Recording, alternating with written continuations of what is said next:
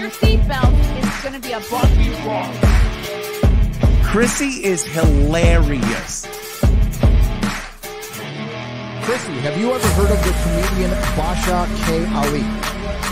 No, that sounds like something you yell at before you blow up a plane.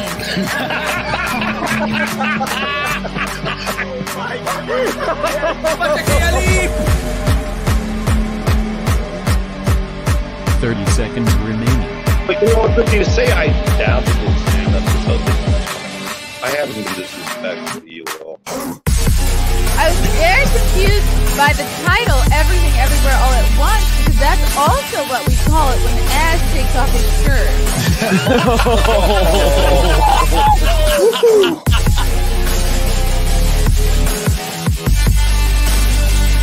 I shouldn't be up here. I should be in school on the other side of the ocean. Hello, hello. Good evening. Welcome to another episode of the Chrissie Mayr podcast. You can tell by the sign behind me what this is. Uh, you can listen to this podcast on iTunes, YouTube, Spotify, SoundCloud, Twitch, Twitter, Rumble, Rokfin. We're all over the place. Now, before I bring in our fabulous and gorgeous guest, I have a comedy show to promote. Yes, yes, I do. Guys, you have one more chance to see me very pregnant doing a headlining set, and that is in just a few weeks from now. I will be in New Jersey. Yes, we love New Jersey. Uh, headlining Morris Plains. Saturday, February 24th, I'll be at Tiff's Grill and Ale House, also known as the Dojo of Comedy. 8:30 show. Come on out. It's a Saturday. You have no excuse not to be there if you're in the New Jersey area. Love to see you at this show. My wonderful, hilarious friend Keanu Thompson will be featuring, and Andrew Harms, who is uh, the announcer on my compound media show, Wet Spot, will also be there doing a set. So get your tickets while you can, because this will be this is it, guys. After this, you're gonna be like, oh man, I wish I could have seen you breathing heavily into a microphone, getting winded after five minutes of jokes, being seven, eight months pregnant. You know, this is your chance. This is the one shot you have, guys. So don't sleep on it. All right. All right. Okay. Um, so excited to have this gal on the show tonight. She has quite a story. You may have seen her on the whatever podcast. You may have been following her for years. I already see some super fans in the chat that are saying, I've been following this girl since she was 17. Uh, so welcome to the show, Violet Brandani. Yay. I, love, I love the lights. Oh, thank you so much. It's my stream room debut. Never even streamed in here before. Really? This is Yeah. a new room? Yes, yes, just put it all together. So, Ooh, I hope um I hope no one's prone to seizures. No, those are great lights in the background. I think they're fun. I know I was It's like, maybe I should turn them off. It's like a little fun house. It's very cute. Um, uh, let's see, let's see. Do you happen to have a microphone, Violet, nearby? I do, but I can't get it to work. So, wait, can you hear oh me? Oh no. Yes. I just didn't know if you had the the right setting going on Oh, your okay. microphone. I'll just try to talk really loud. can you can you connect your Shure mic? Is it connected? Because that's a I good microphone. because before I was like trying to get it to work and it wasn't working. So I was like, I'll just use the camera Oh, on my I mean, the mic on my camera. Okay. Okay. Let me cool. see. Maybe give it another whirl. We'll, we'll give her a minute. that I know the feeling though. Like I have the same microphone. It's like you have this like this like, Yeah. expensive, really good microphone. You're like, I just can't get the damn thing. I know. I really like need a tech techie by my side. Come on, guys. I know. Uh, it, it's like, look, I can't be cute and funny and know about technological stuff. Okay, we we can't do it all, guys. It's That's all too not- much. It's all too much. Um, yes, and you can see Violet's handles are scrolling down below. You can follow her on Instagram, TikTok, and OnlyFans at Violet Brandani and on Twitter at Lil Violet, which I imagine would be your your rap name if you started Yeah. rapping. Little Violet. it's always love it. something. Okay, amazing. I'm Violet. to mess with this, so I'm just gonna yell. Okay, yeah, we love yelling here. Um, I'm going to start with the boring question that you that you get all the time, but just for people that are not familiar with you or don't already follow you, how did you um, get into the industry? How did you become a content creator? Walk us through your your origin story.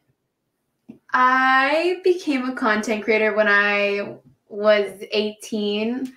Um, I kind of just left my hometown one day after a spontaneous New York trip with my friends. And I was like, this is really fun for me. I really love just being on the road, exploring. you know, uh, I liked it a lot more than my group of friends did. So instead of going to college like I should have been that semester, I decided to just drive to Phoenix. Um, and I was like, you know, it wasn't all that glamorous at first. I just I just did it. But before that, I was kind of partying a lot in my hometown.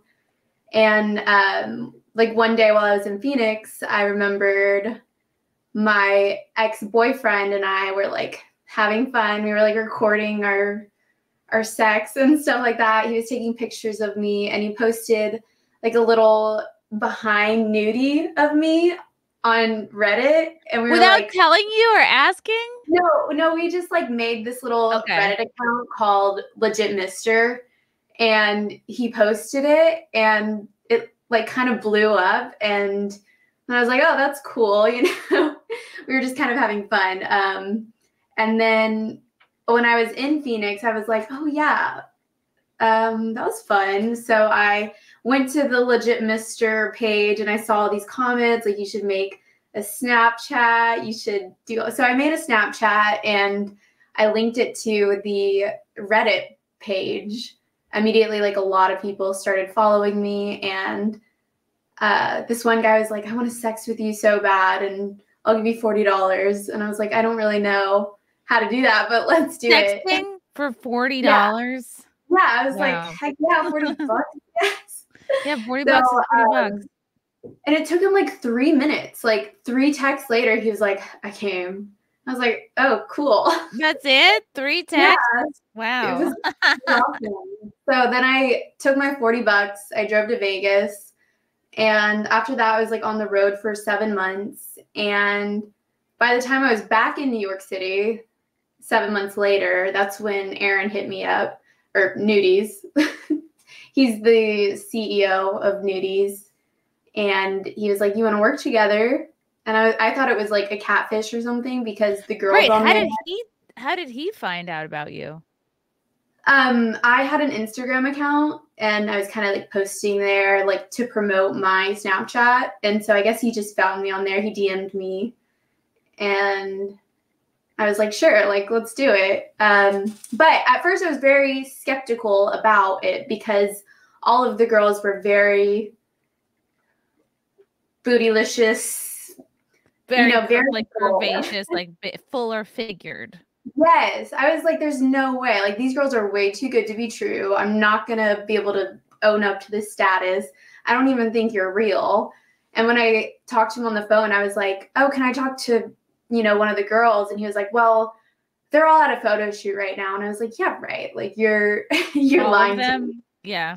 And then, like, an hour later, Viking Barbie called me and she was like giving me advice and stuff like that. But I was like, oh my gosh, this is real. So, Who was Viking I- Barbie?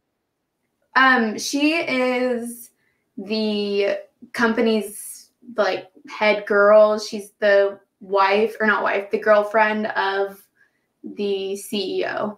So Okay. they've been like a little team and everything. Um, but after that, I decided to just like pack up, get an apartment back in Phoenix. I just I wanted to be close to LA, but Phoenix is cheaper. So I packed up my things, started taking this seriously. I was like, oh, I have like a real opportunity here to make some money and have fun while doing it. You know, I just started it as like, I like record, I'm very comfortable being naked. I like recording myself. I like the fact that no one's telling me what to do. I can explore. And so I kind of was like, I'm documenting my sexuality, exploring my sexuality and the world. So yeah. I just looked up, I just put uh I looked at nudiez.tv because I was like I, I like didn't fully know what it was. It they offer subscriptions to to Snapchats. Um, so Yeah. if you become a member, uh, members enjoy boyfriend like privileges from private Snapchat accounts. Select a girl from our model page and the duration of subscription you want to sign up for. We will add you in as soon as an hour. Says, How often will I get snaps? Nudiez girls snap up to five new shows a week. On on and off days, they will repost highly requested shows. Um, oh, this is interesting. So, why would someone sign up for this instead of just being on Snapchat? I believe that site is very outdated. Like, um, I don't even think Nudiez uses that site very much anymore. But that's how we all started off. That's how I started off was on Snapchat, the good old days. you know, you just kind of like uploaded your stuff to Snapchat, and then you could sex with the guys on the side and send them like a message during the day. But um, we didn't get into OnlyFans until 2020 because I asked whenever I first started, I asked him if I could start an OnlyFans. And he was like, I remember him texting me back, Are you effing retarded? That's what he said to me. And I was like, "Oh, Really? never Why would you want to start an only? Yeah, it seems like that would be the next I think he saw it as like a major competition at first and not like Okay. an asset. If we would have started like whenever I asked to start, it would have been a lot better. But yeah. Okay. So you're with the nudiez.tv people. Um th- they're kind of it's they're probably helping you, you know, s- schedule collabs with other girls, right? It's probably good for networking. You're like part of a group, right? And then how did did they become your your management in a way? Like when did they start to I guess like have more control over your image or have more of a say? Right? Was it right away? Yeah, so technically they managed me right from when they hit me up when I was in New York. I was 18 years old and they're like, get rid of all of your accounts. We're gonna put you on new accounts. Um and you're gonna sign a contract. And like I kind of just did my own thing for a long time until like 2020 things kind of started getting weird. Like And you started what was it 2017 you said? yes. Or, um, uh, okay. 2018. Well, the end of 2017, so 2018 kind of. Um, but yeah, things just started getting very controlling. Like this time last year, I remember him being like, "We're about to have a what's it called? Like another collab, and this one's mandatory, so you have to be there." And I was like, "They've never been mandatory before. You're just saying that because you know that I try to skip out on all." Explain like what what a what this type of collab is for for people who don't know. So basically, they get a house, and uh, all the nudiez girls, there's about 10 girls, all of them show up, and we all like do like shows the whole time, you know? And Like is more camming or you're doing like boy girl or girl girl? it's like girl girl shows the whole time. Okay. And I hate that kind of stuff being like forced on me. Like, I always record things when I'm horny or whenever I feel like it. I that's why I got into this industry because I can do things when I feel like it. And I didn't do mainstream because I'm not trying to be booked and told to be here Right. when I you want to work here. with who you want to work with and when you feel Yeah. like.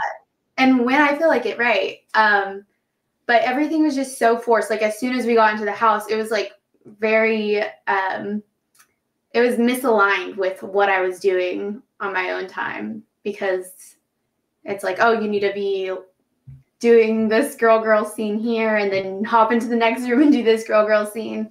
It was just so forced. And my like fans know sometimes I'll have videos out like every single day in a month and then sometimes it'll be a month where I just have like one video out because I like it to be spontaneous. Everyone understands that I'm taking them along on a journey and it's not like I'm being booked for scenes. Right. And you- so It's like a big sort of content house, and like there may have been girls in the house that you liked and wanted to work with, but you just didn't like being told when and where and how to create your Yeah, stuff. It, it almost like it takes away kind of some of the creativity for you. Yeah, exactly.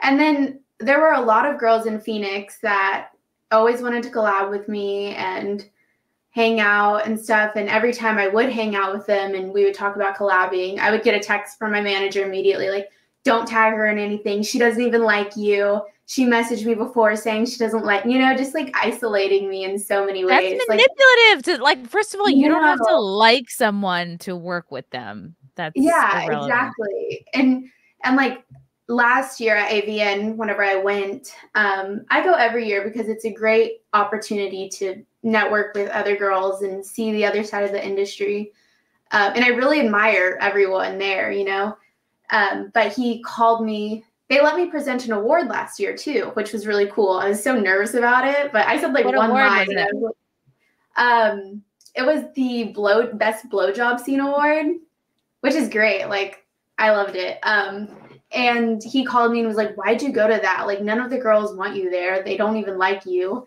And I was like, Again, with the people not liking you, th- I don't know. I just feel like that's that's an immature thing to say.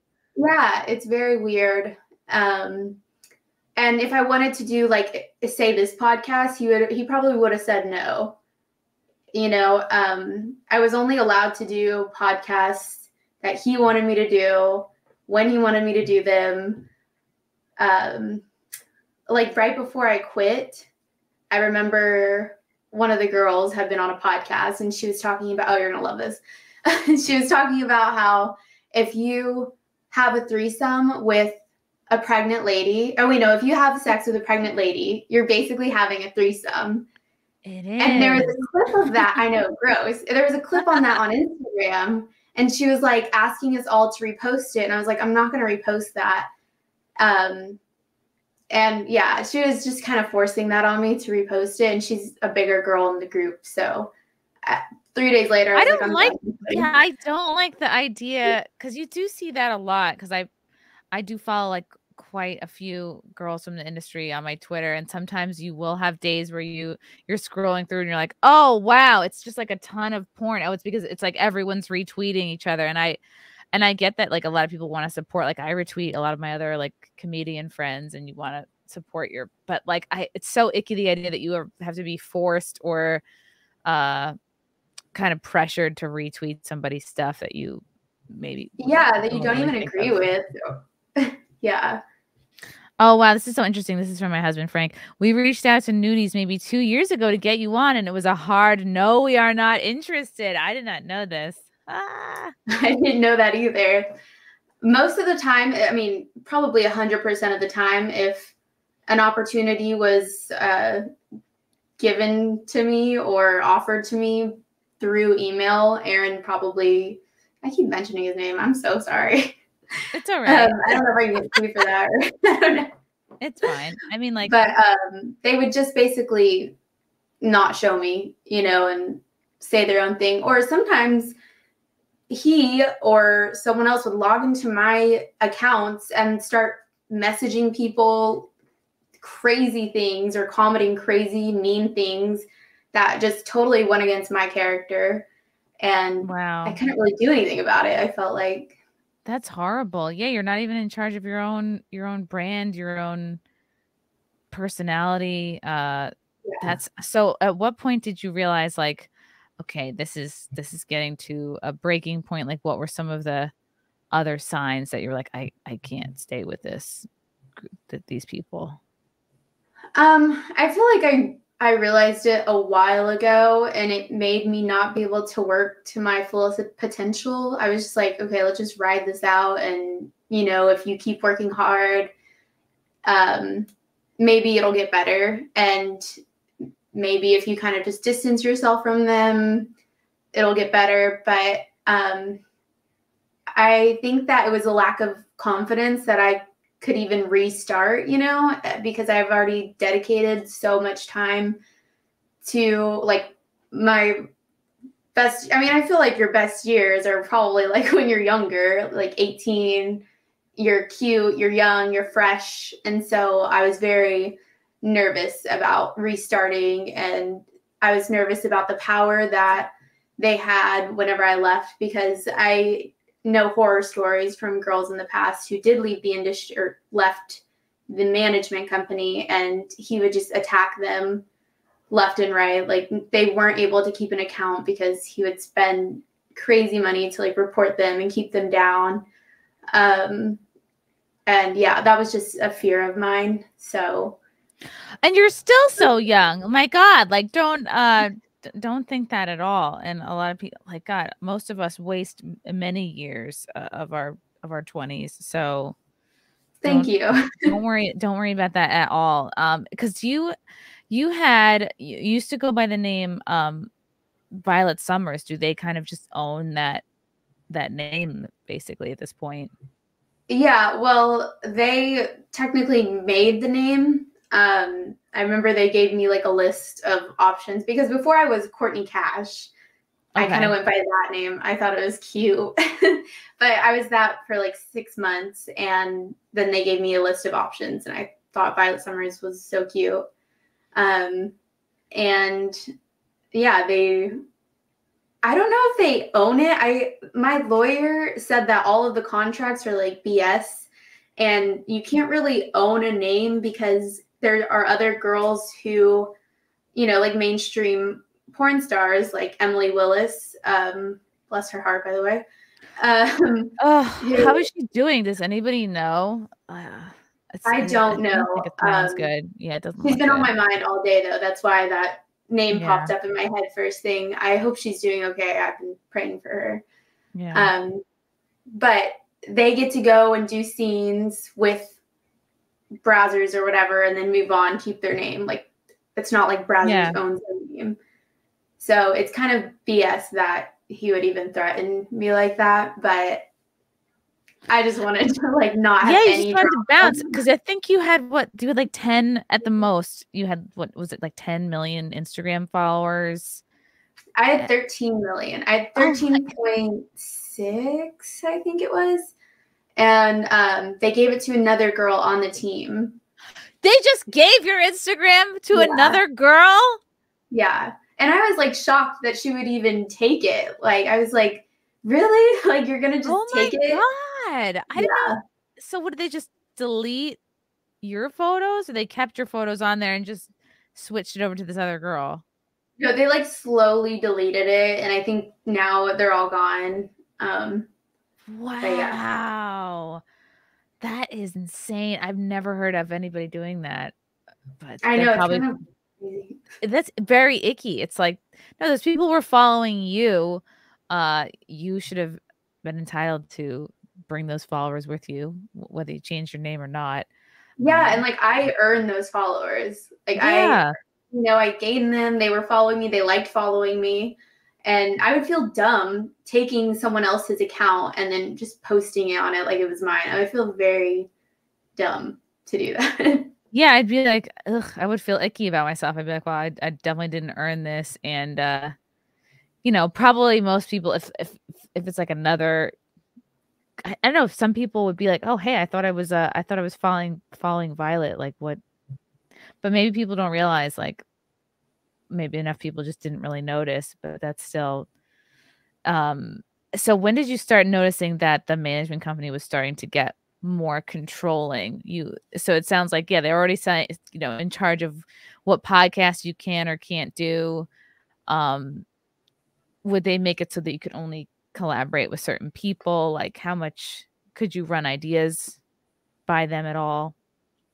Um, I would say okay. So in 2020, I went to AVN with Penthouse, and um, when Penthouse wanted to put me on the cover of their magazine and everything, air like Nudiez got very weird about it, and they they just got very controlling like they're just using you don't tag them in anything and so i have to be very cautious about how i promoted you know the fact that i was on the cover of penthouse i thought it was so cool is a deal yeah i feel like that too Um, but they took me to AVN. I thought it was so cool, and they just let me at their booths and uh, let me kind of like do a tour of AVN and film me doing that. And then that night, I think it was like the Saturday night of AVN 2020. He just locked uh, nudiez logged me out of every account that I had, like all of my Instagram and everything. And we were all together with Penthouse, and I just started crying because he had texted me like, "You're done," you know, like Heads up at all. Just you're done and you can't get into any of your accounts. yeah, yeah. And I just thought like everything was over because I was still very young, and I just kind of thought if I didn't have them, I was screwed and stuff. Right. I think that's what they bank on is that you're like, well, I, I don't know what success looks like without these people. Am I even capable of doing it on my own? Which you totally yes, are. exactly. Yeah. And Penthouse was super sweet to me. They were like, look, we'll help you do whatever you need to do and everything. And I didn't talk to nudiez for about a week after that. Um, and then we had a conversation and they were like, look, like, you don't need to leave. Um, everything's about to be really cool. Like, we're about to blow up. We just wanted you to be safe. Like, you know, kind of. It we wanted really you to be weird. safe by logging you out of all of your accounts and then saying we're done. That's bullshit. Yeah. They That's wanted me to be so scared all the time. And I think my anxiety was just like through the roof. That's not how you treat uh that's not a business relationship. That sounds very manipulative. It's like uh even all of the oh this girl doesn't like you, that girl doesn't like you. Like that's so sophomoric. That's not that's not how you run a business. That's not how you uh, deal with a colleague or someone you're managing. That's that's really insane and so Yeah. unprofessional. And the thing that uh like really drove me over the edge was learning how he treated other girls who he would hire, like the newer girls who we would hire like after 2021, I would say. No, it was like during 2020. They probably left in 2021.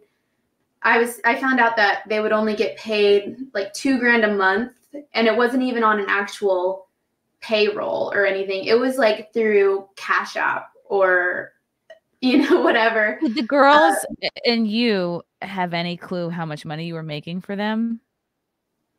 Um we would give them 20%. Okay. Um but there's no way that like some of those girls were only making 2 grand a month. You know, like I when I first started, I was able to make at least 2 grand a week when I on my first week. And so I was just so sad for them because I knew something was fishy. Um, and another thing is like at one point, I we didn't get paid. The whole team didn't get paid for from December 2021 to May 2022. We didn't get paid OnlyFans for that long. I mean, he did come through at the end. Like we got our full paycheck and everything, but It was it was like what the heck what is going on you know um and it's just weird Would very they weird. help you um like file your taxes and things like that? no Were they, um, were they helping you like you know just business advice generally, or they were just no i when i first asked about taxes i had to figure that all out myself because when i first asked about it he was like don't worry about it just don't worry.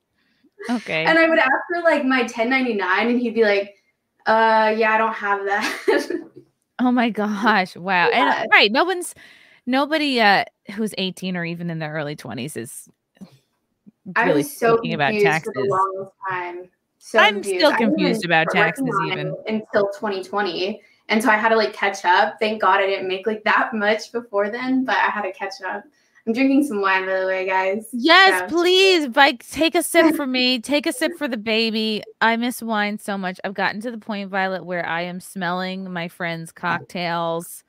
I'm smelling their wine. I haven't had a drink since, uh, well, September 1st, I guess. So, oh my gosh look at you sober mom. Sober mom, boring mom. Yeah, I, I don't really like. we're fully so believe- cute pregnant though like i want to be Aw. cute like that i feel like my face is gonna blow up like a balloon I I am I expect any day to wake up with a full set of jowls and cankles. They have they're not here yet, but I'm just so lucky. It's really just It's really just the belly. belly, and I and I feel like a, a cute potato. Um, you know, like I worked so I worked so hard for like two years to get ready for my wedding, and I just I didn't I didn't want to feel fat or worried about my body at all at my wedding, so I just like worked out like a ton and did a lot of inter- intermittent fasting and keto and stuff, and then Mm. like. And now sometimes I look down, I'm like, is, is there a baby in there or is this just bread? You know? this is just what happens when you start eating bread and fruit again. oh my gosh, yeah. I had pizza last night and then I looked at my stomach. I was like, wow, I got a nice little food baby going on. Yeah, you're like, oh, it's a baby pizza. Um, my God, that sounds like you went through so much with them. So they they fired you. Then they were like, no, just kidding. Everything's gonna be okay. Um, so when were things finally cut off with them, and how did that happen? it wasn't until I mean I played it pretty cool with them for a while and then I'm very thankful for my dear friend Kiara Moon. I don't know if you've heard of her. Um no. yeah, look her up. She's like this little cute Asian girl and she's just amazing. She's so she's such a hard worker too, but um she was also on the team and she kind of helped me out of my denial because for a long time I was like, yeah, but I think they're, you know, trying their best to make this team great and everything and she's like, "No, the way they do things is so manipulative. It's just bad business. I mean, they don't uh, like they were starting to be very controlling on our OnlyFans too. Like, oh, you can't chat like this or post this. Um, it was just weird. And so she was pointing out a lot to me that like, yes, it is messed up. She's a very smart girl, and um, she's the one that found the lawyer. Um, so yeah, where was I going with that? Good. Oh, like how you knew it was time to like finally say goodbye. Yeah. And so when she left, finally, I was like, okay, let's game plan this. Like, I'm going to do this. There's no.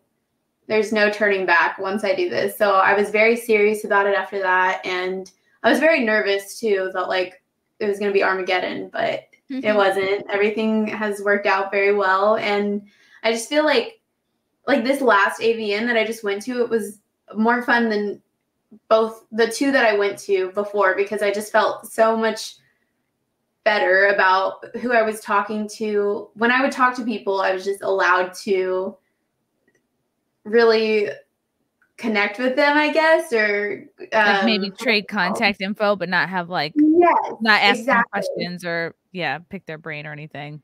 Yeah, and I didn't have to worry about like nudiez looking over my shoulder and nudiez being right there, being like, "What are you doing? Why are you doing that?" Would there be like nudiez execs or um people from the like the company there at AVN, or would they just like send you girls out to go? No, he didn't even want us going. Um, I'm pretty much the only nudiez girl that went to AVN. Uh, nobody, nudiez has never. You'd think they would have a table or something, or have a. I know, booth. right? They're Yeah. so against it, though. I don't really know why. Won- They I'm like, you guys need to get out there.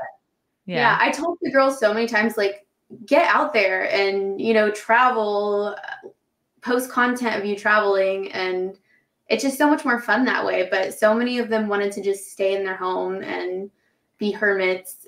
And I feel like everything kind of dies off eventually. Like, you might do it for a while, but when you're just being like a hermit and not really putting yourself out there, nobody wants Yeah. to see that really. Yeah, it gets boring. People like seeing IRL streaming and photos and if they're genuine fans of you, they they want to see you out and about and in different places. Yeah. Plus it's fun for you. That's fun. I don't want to stay home all day. Yeah, no. You can uh, you can do that when you're you can stay home when you're dead. Um Bob Gable, thank you for the super chat. You should go over the Vince McMahon charges. Do you think that was possible? Both of you thanks. I don't know what that is. I don't know. I don't either. I was I like, wait, am I the loop? Thank you. Bob. I don't know. I was like, is that relevant to what we're talking about? Um, George Habib podcast, respectfully, why porn and not modeling and acting? Can you be completely sure you won't regret this later? Is this something you encourage for young girls? Um, I I don't really think I. I wonder if model model. I don't know. I, I think it's all this. In a sense, it's kind of all the same. Like you could actually start in modeling and acting, and end up with an OnlyFans anyway in this day and True. age. That's Um, true.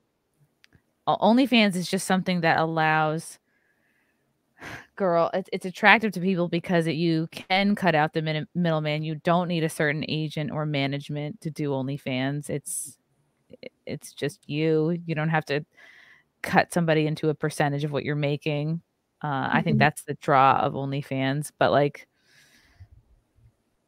honestly that's probably just easier but was mo- were modeling or acting ever a thought for you Um, acting, yes. I was in acting like theater growing up, and I even took acting in Phoenix.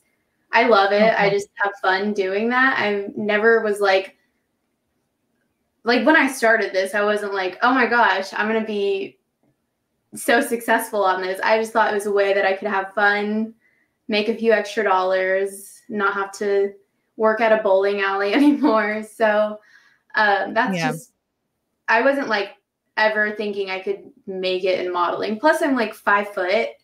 I did joke around that I was gonna get my knees done so I could be a model. but Aw. yeah.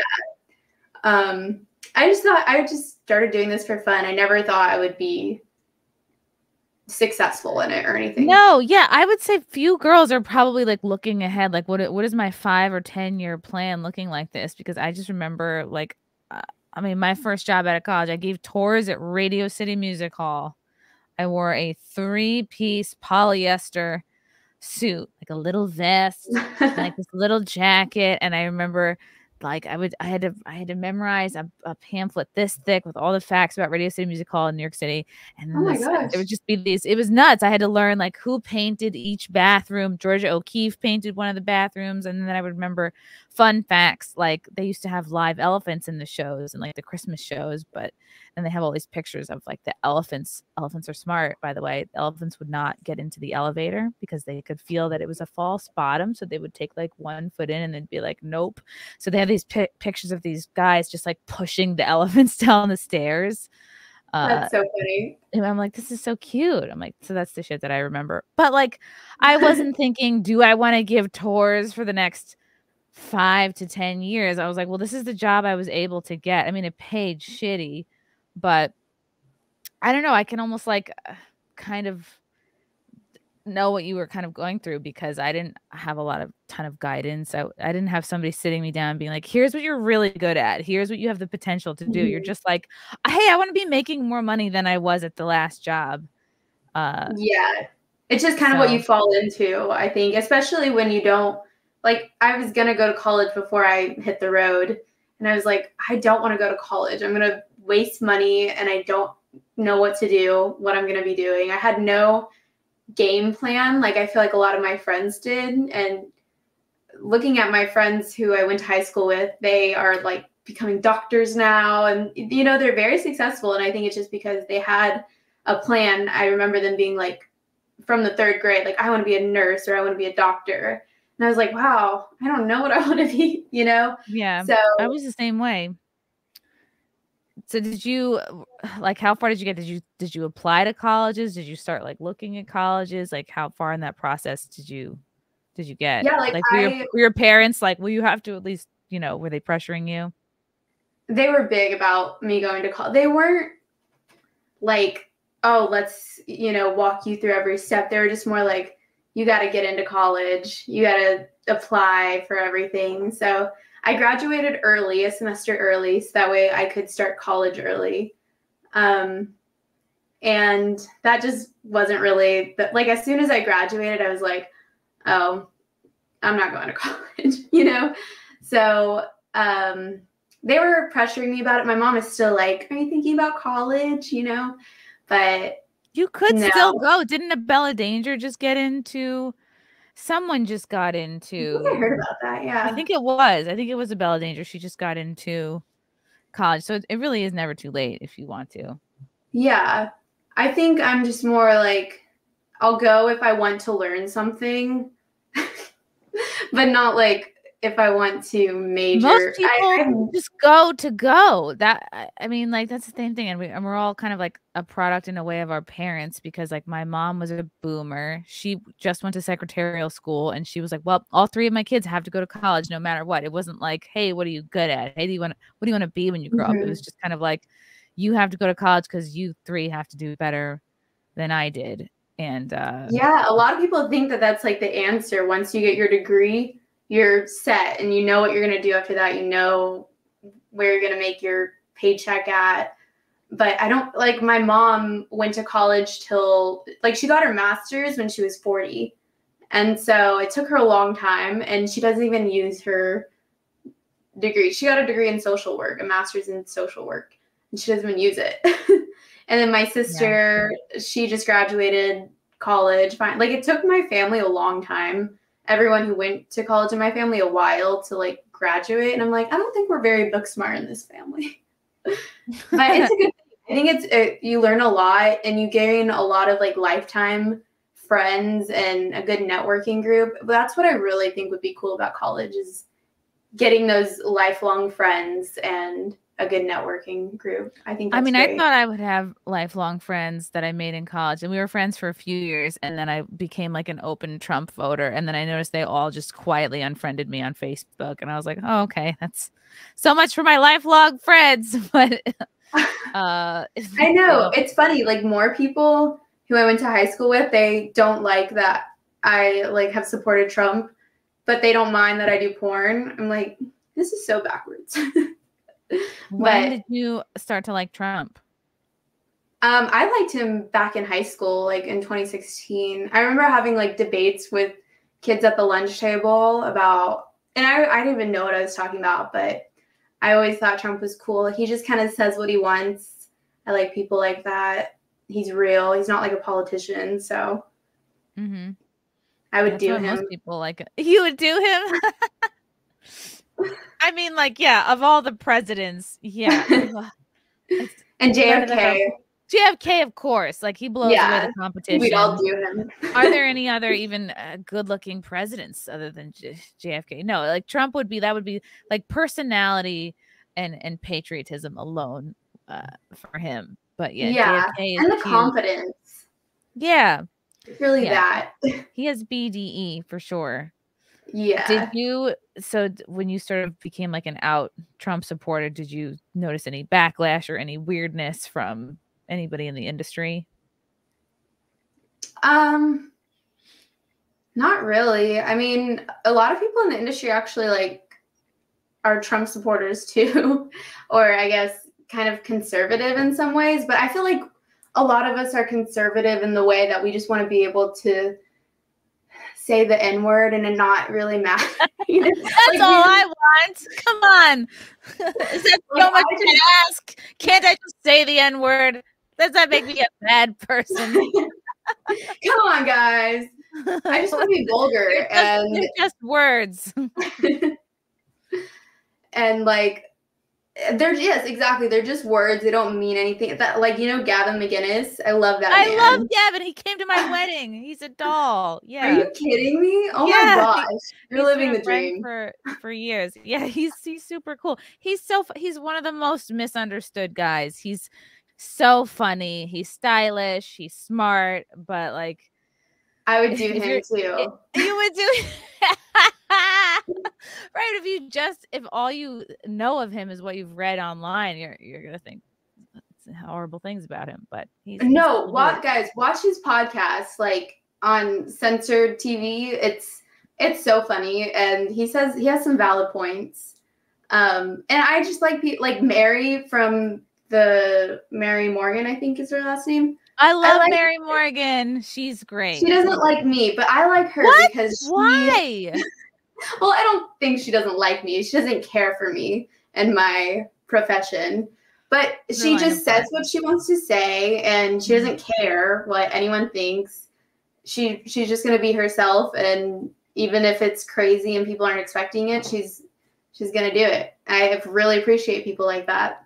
You know, a lot of people have seen you on the Whatever podcast, and it reminds me of um, this girl, Christy St. Regis, who I've had on uh, my podcast a couple of times. She was on whatever. She loves Trump, and I feel like she is in that place where she just says and does whatever the fuck she wants, and she doesn't feel um like That's so cool. please anybody. But she's a cool chick. I wonder if I'll introduce you guys. I Okay. have I have some pull. No, I don't know. I'll just send a DM. But you you can be that person um right now. I mean, you can you can say the N word on compound media. Maybe I mean uh, I don't know. Gavin says it just about every time I have him on my stream anyway. But uh I don't know. Well, I know. He I seems like such a softie, you know, like he has a big heart, I feel like. He Like does. He always ends his show with something so heartwarming and just a cute little video or something. I don't know. I'm just like, he's just like a dad. He gives Mhm. me dad he really is. He really is like a dad. I remember before I got engaged, he was like, I had him on a uh, a show. It was like I think it was Simcast. It was like a panel show with a lot of people, and he was giving me a ton of shit. I think he was giving Frank a ton of shit for us not being engaged. And then I think we got engaged like the next a, w- a week or two later, and it was so funny because it was like this moment of like, oh, did Gavin Gavin finally uh Gavin's pressure got to you, but I guess it was in the works already. And he's he just sent me a really nice messages, you know, when I got engaged and when I told when I told him I was pregnant too, like just genuinely sweet and like he said, you know, we send each other Christmas cards. It's like he's a I don't know, I think he's a cool dude. Oh, so Frank, you already had the ring. I didn't know. Oh my gosh, is this him? yes. yeah, that's Frank.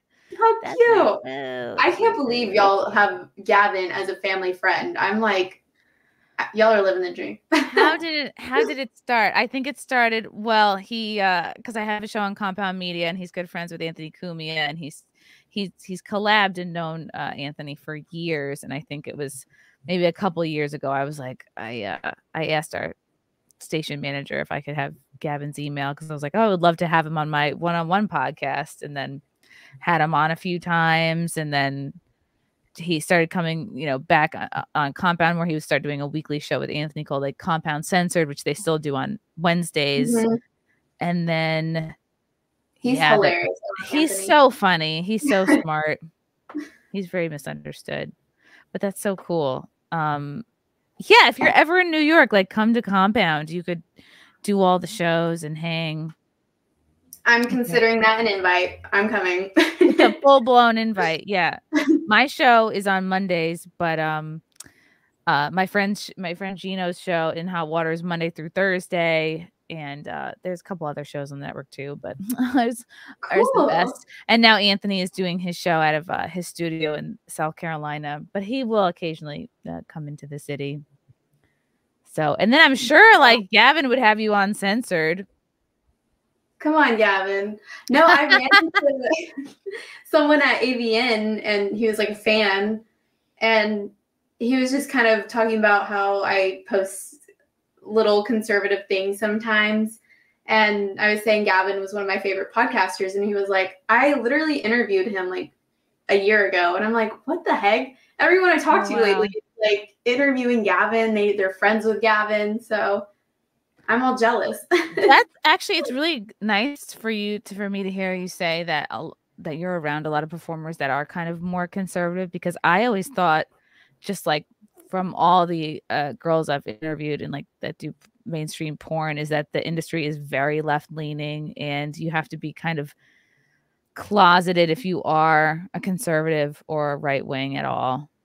Mhm. That genuinely, well, I especially kind of like, outcast anyway. Like I'll just oh, I don't really know like what the trend is all the time. I just kind of say what I say, and then if people don't like it, I guess I don't really know if they do. But um, there are like I'll tell people I live in Texas, and they're like, "You don't have women's rights," and I'm like, you don't know know. that's so stupid. What a stupid thing to say. Oh my god. "Like I have as many rights as you do, but it's fine." Um, yeah, Texas is great. I love Texas. I was born here, raised here. Glad to be back. I love being by my family. So Okay, that's good. That's good. When did you feel like you were an outcast? Um, well, I'm not like an outcast. I just I kind of do my own thing. Like I'm not involved. Like whenever I was around all of the mainstream, they're like a family. They they talk to each other like they're so close and then they fuck each other. I'm like, wow, this is crazy. They're like a family that fucks each other. I don't know. And I just kind of was like very shy, like, how do I fit in here? But I really admire them all. I just, I guess I'm not in it all the time, totally. Who have you enjoyed um, collaborating with the most? Ooh, definitely Kiara. Kiara's like my number one because I'm not like crazy lesbo, but I do I like I like to get drunk and make out with girls or you know Who doesn't? that. Yeah. Yeah. right? Like, you know, good old drunk making out. And I like to do it with my friends, like we're playing with our pussies next to each other. Um, and I feel like Kiara is just like she's adorable and we have a lot of good chemistry. So I love collabing with her. Um, I've recently gotten to collab with like Ashley Skies. I don't know if you know who that is, I but don't know her. I thought we were so cute. I like when I look cute next to the girl. You know, like we both kind of match. And I feel yeah, like you like, share clothes or I- something. yeah, Yeah. exactly. I'm like, we are like sisters right now.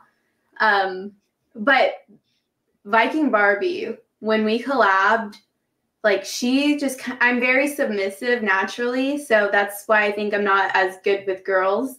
But she'll like take control. She like choked me. I was like, whoa, you, and then she like really, she knows how to, you knows know, what she's doing. yeah. I'm like, yeah, she really is good. So I was very impressed with her skills. Um, had a lot of fun with her.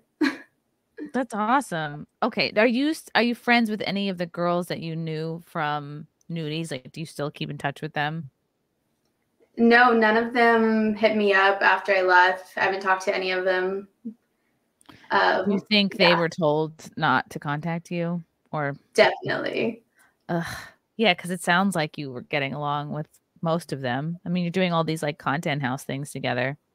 Yeah, they were all we were all cool with each other.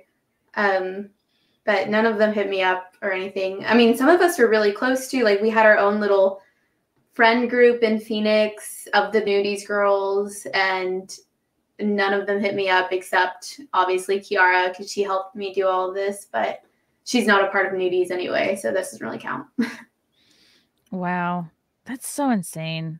Do you? Is there anything you've done so far in your career like that you would have done differently now that you you know you're a few years in and you have perspective, like how you would have handled something differently, like whether it's like a creative decision, like a like a collab, or I guess a business decision. Um, a lot of the time, like I'll think a lot about that time with Penthouse that I was fired and I could have left for good. I think about that a lot because I'm just like, what would have happened like if I would have left? It was right before COVID and everything too, where I feel like a lot of us kind of blew up when COVID happened. So I just kind of wonder about that. But I don't regret anything because I just feel like it made me who I like I know what I know today because of what I went through. So I don't really regret it. Yeah, But I do wonder. like if you had left nudiez at that time, or if you had left Penthouse, you mean? if I left pen um, nudiez, sorry, if I left Okay, okay. nudiez at that time. Well, it's understandable because it sounds like he was like, "Oh, just just kidding," you know. Oh, we'll work it out. You know, they they're kind of banking on the fact that you guys are young and don't have a ton of business experience and feel like you need them, like they're your your life raft Mhm. into success. So Yeah, like and then he would tell us to find girls and we would get some of their commission for about a year we'd get their commission. And you'd be like, "We don't want any girls with a big account or anyone who's been in the industry for long. We want them very new and young." Um, and I'm just like, "Why is that? You know, like why would you not want to bring a powerhouse onto the team?" right, someone with a huge following, like, isn't that more business for them? Yeah. And it's just because they want the credit for building up that girl and then they want them to think that they can't do anything without them. yeah, yeah. Make like make you feel like you you need them, or else you won't succeed. Mhm. Damn, that sucks. Okay. Do you re- you regret anything um like content wise that you've done or would do differently? No, everything I've done, I've been very comfortable with, and I, it's pretty for me. It's pretty much like every time I do something sexual, I record it. um, so it's not like I'm finding people to do. Th- it's like I'm going on a date, and then if we have, you know, sex or something like that, I'm gonna record it. Um, so yeah, I've been very comfortable with everything I've done. What um what have been some of your weirdest uh like OnlyFans requests? I think the weirdest thing for me, I like to pee. uh, OnlyFans doesn't allow like peeing or pooping, but I like to pee just like when I'm in my van. I like to open the door and then just pee out my van real quick because it's just easy and it's fun. Like squat, like get out of the seat, or you just pee in the seat? I open the door and I squat out the van okay. And I'm like spraying it out and then I send it You out know, to people. I kind of like well, I don't record it, but I kind of like peeing outside too, and I just don't like to wait. Like if I can get away, I if I can like get away with it, I pee outside. Don't you feel like it's cleaner? Like you're not dealing with the confined toilet of everyone There's- else's. There's for me, honestly, there's a sneakiness that I kind of like. Like if I'm coming home late from the city and I have to, I have to walk to my car that's parked at the train station, and if it's like nobody is around and I really have to go, I I'll just pee next to my car. I'm sorry, it's just like, it's funny to me, and it's like it takes two seconds, and I'd rather do that than like really, you know, because it's an hour on the train. The train bathroom is disgusting. And then Yeah. you can't really wait another 15, 20 minutes to pee when you're home. So you just pee outside. Big deal. That's great. That's so naughty. it doesn't feel naughty. I think it, it's just like funny to me. Like, I, I think it's like silly, but yeah, I mean, if someone ever caught me, I'd be mortified. but I, I'm not. I can't get down with the pooping. Like No. The pooping, I'm like that's a little personal. Have you been asked that? yeah, I've been asked that quite a bit of times, and I'm like, not yet. No, like maybe one day I'll be down with it. I gotta be swayed, but I just can't. I can't get down with it. I can't. I couldn't get down because I can't just generate poop on command. Like I'm not. Yeah. uh It's not something that is happening frequently. I don't know. You gotta focus. It has to be the right time. It's like yeah, it depends what you eat, what's going on. You can't just like. It's not like have a pee. perfect solid. No, yeah, th- I think this is like I think men can poop on command. I think men always have like a poop ready to go, one in the chamber. But like so women, it's like we no, we're, we're always constipated. It's very we're Yeah, we have emotional. stomach issues. yes, it's very mind body connection. Uh, Hot girls have like- IBS. yes, we have IBS. We're emo- we're emotional. We're lactose intolerant. We've there's a lot going There's on. a lot going on. Oh, yes, sure. I used to poop in my yard as a kid, not because I enjoyed it, but because I was a, I would forget the key to my house all the time. And uh, my mom, my mom and dad both worked, so I would just like get off, uh, walk home, or take the bus home, and I would just hang out in the backyard. And sometimes I would have to poop. And uh, this was a, as a kid, though. So, and I just Wait, how'd you wipe? With a leaf? leaves. Yeah, there was a there were some mm. big bushes nearby with like with wide leaves. Luckily, none of them were ever like poison ivy, but I definitely remember exactly what kind of bushes they were. they were like they had big leaves, and then you, I just would sort of either bury it or throw it over the fence. Not with my hands. At least you have like you can focus because you're no one's watching you. You can focus. Yes, because we had woods on the the backyard. It's not like, I mean, it was the suburbs, but like no one could see because we had woods in the backyard. So Wait, where'd you grow up? Long Island, Oh wow, that's crazy. Strong Island, yes. And then I lived in Brooklyn. I lived in Queens. I'm in Westchester now. I've been all over. I went to school in Connecticut, so uh, and I've spent a lot of time in Jersey. So I'm really like an expert on the tri-state area. You're a true like New Yorker. That is so cool. I know. I wish I could uh, get drunk for you, and then my Long Island accent would really come out. But we'll have to wait. Oh my god, we have a special, special guest, Violet. I don't know if you're familiar. I I don't know. I I heard recently that you might be a big fan of this guy. It's Gavin. Oh, you're kidding. You're kidding. Hi. Hi. Big fan. Hey. I was just watching you earlier. What's up? It's probably a really old video. Do you have a Novocaine mouth right now?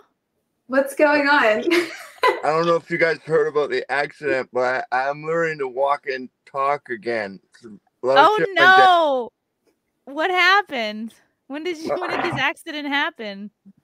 About three years ago. All the videos out there are pretty old. oh wow. You're doing Yeah, a good I job at keeping up with current events.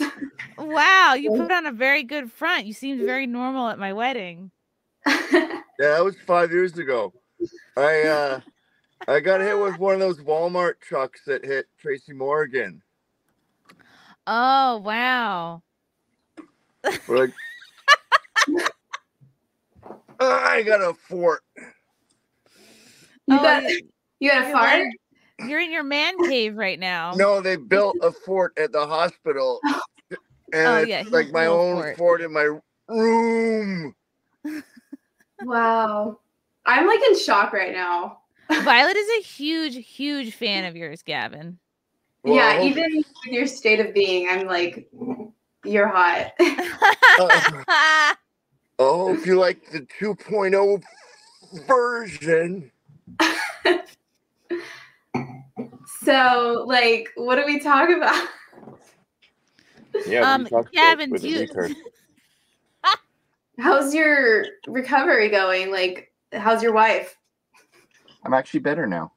It's, it's Wow. oh my god, it's a miracle! We Yeah. cured him. Of all the times for you guys to call, you call when I come out of my sort of a coma. Are you Wow. drunk? No, Oh. I can be you though. gonna- Um, Violet's Oh. a huge fan of yours. She loves censored TV. Oh, great. I do. I love She- your show. Big fan. All she wants is to be able to day. say the N word, but that's the only thing that's holding her back in life. Yeah. Oh, it just you go like this, nigger. Oh my god, I Wait, laughed you're so on hard I felt it. YouTube. We're on YouTube, Gavin. Oh, sorry. I've been banned for so long, like I don't even know what things you can't say or do anymore. He's just used to doing what he wants. I love that. Me too. I And I used said to if, flash Violet, my tip wherever I want. I if thought I could Violet's do it ever in. New York, um, So you're- I said You're finally she- part of the Me Too movement. Oh yeah, I guess so. We said Me Too. Me too. Um, I said, Gavin, if Violet is ever in New York, she she could come on censored, possibly. Yeah, she should come on my face too. Same. I give really good head. Old man. I'm just kidding. But I will come. I'm coming not like kidding. tomorrow. Like seriously. oh, Yeah, we should do a big sit down talk. Where? What were you guys talking about before I became a retard? We were talking about OnlyFans, and actually, Violet used to work with this management company who were very manipulative, and she had like 13 million Instagram followers, and they took her account and gave it to some other girl. They were very controlling. Um, so yeah, I now was with she's since I was 18. Well, I mean, you're in the sex industry. It's you're a- you're a prostitute. You're gonna have pimp behaviors where they're gonna manipulate you and take your money, and it's still Yeah, that's what my lawyer called him. My lawyer called him a pimp. I was like, oh, I never saw it that way. Yeah. I mean, why have a manager anyway? Yeah. I mean, a lot of girls don't. I mean, most girls don't. So when you're 18 and you're just getting started, you I don't know, Yeah. you just kind of think, "Oh, this is this is the way to go. All these big girls are under this Yeah. guy." like So- showbiz. You need a you need someone to show you the ropes. No pun intended.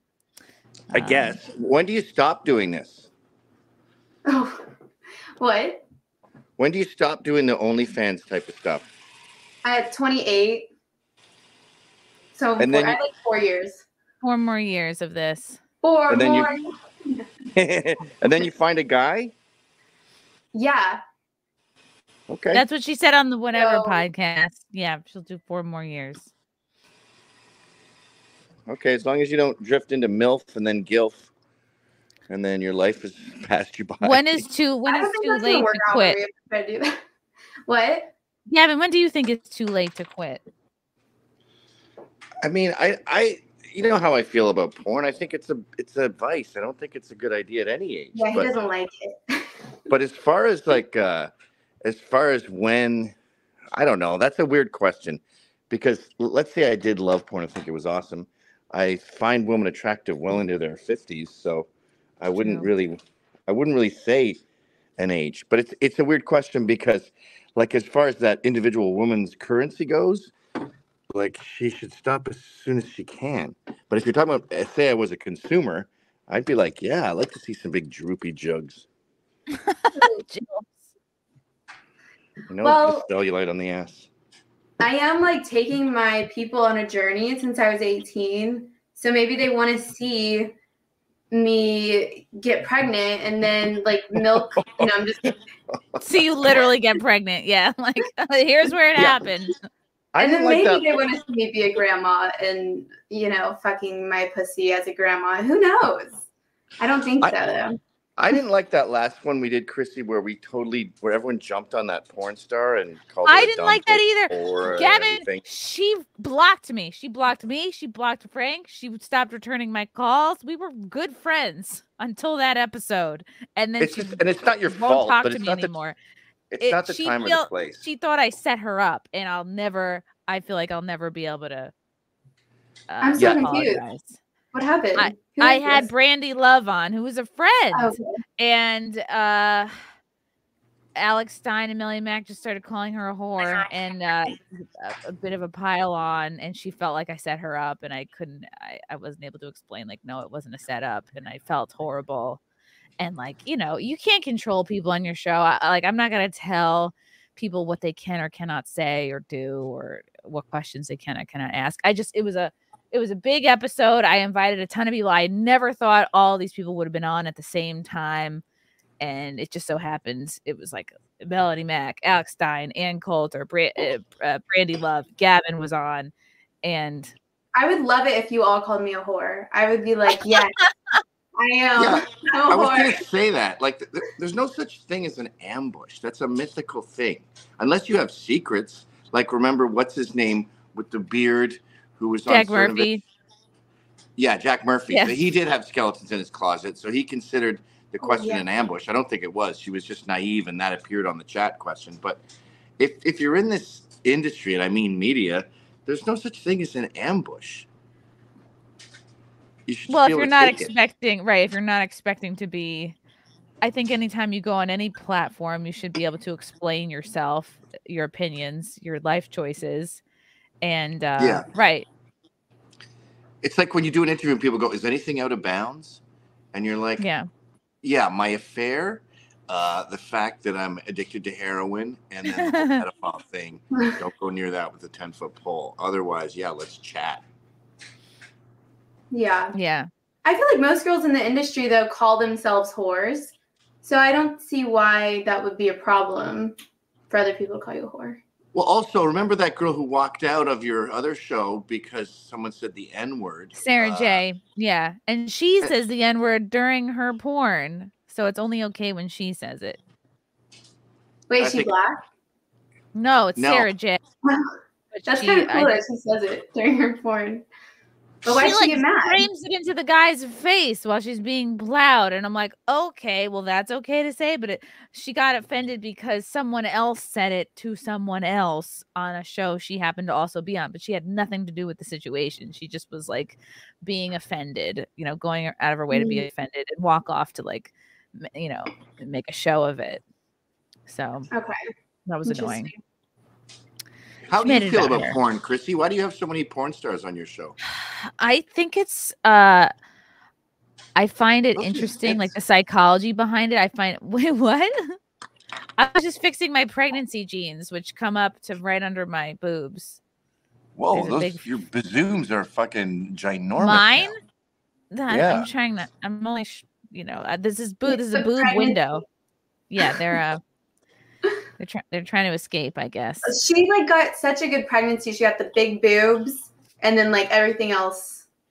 Everything else is tiny. thin and chic. Gavin, I've always been interested in like the psychology aspects of why people get into it and why people like it. And I I I think it's interesting like why people have certain kinks. Like, am I a big porn watcher myself? No. I'll I'll watch like occasionally like uh, something my friend does or uh, like I'll watch like I'm a supportive aunt. Like, okay, wow, good for my friend.